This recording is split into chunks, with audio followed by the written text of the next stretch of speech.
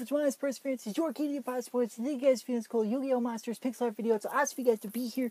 Today's monster that I've got for you guys is a thousand dragon. But before I get into him, I'll explain what myself. is. my name is Peter Elvidge. Just my best time, but excuse me. I do my pixel art square by square, pixel by pixels. You guys have seen the tabs in front of you. I do all this in the state of Minnesota. So if you guys want to learn more about me, my statement, social media links are in the description below.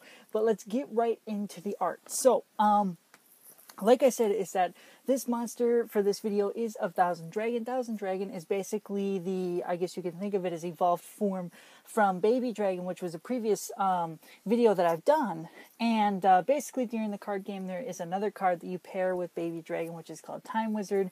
If you're lucky, flipping a coin, uh, you can time warp him, and basically, Baby Dragon becomes Thousand Dragon, which is more powerful and all that great stuff. So, uh, if you guys have no idea what I'm talking about, uh, because you're not you're either not a Yu-Gi-Oh fan or maybe you are a fan, but more so of a character design person uh, that li- that you like more so of the look of the monsters. I totally understand what you're what you're thinking at the moment that you have no idea what's going on. But let me um, let me help you out, okay? Because that, that's basically the background I want to give you guys. If you guys want to learn more about more, uh, I can't speak today. If you guys want to learn more about the monster, please go out and Google it yourselves. But um, so let me explain first. Okay, my pieces are 150 pixels by 150 pixels or 150 squares by 150 squares, depending on uh, your perception of pixel art. Uh, my pieces off of YouTube are 2 to 4 million pixels, depending on the uh, variation and complexity. That's why I've given you stuff in the description below to check out after this video is done with.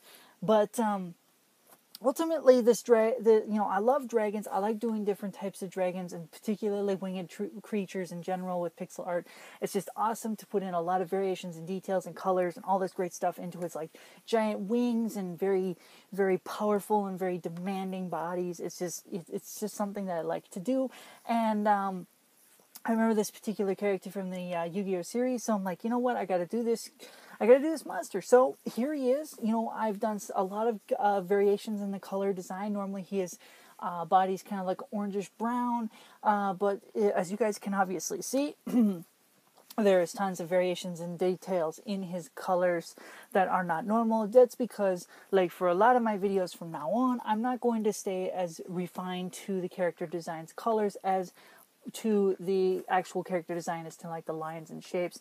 I'm going to stay more so connected to the lines and shapes and the character design instead of the character's colors. So, um, but I ultimately I have fun making these different pixel art pieces. If you guys got suggestions, you know where to leave them. If you like this video and time lapse in any shape or form, like, favorite, and share the video.